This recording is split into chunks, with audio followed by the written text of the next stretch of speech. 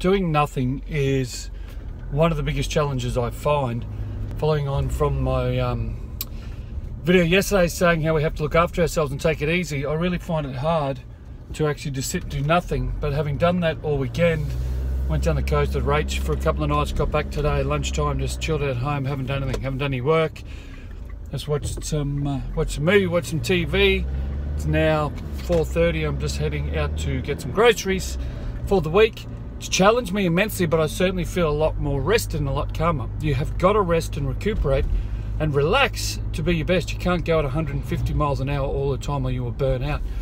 Even though it's that challenges me, I know the reason it does is I feel like I'm lazy if I'm not working hard or not working at all. It's about managing that reaction. Again, shit happens, but we've got to manage our reaction. Understand just because you're not going a million miles an hour and because you're resting doesn't mean you're not achieving.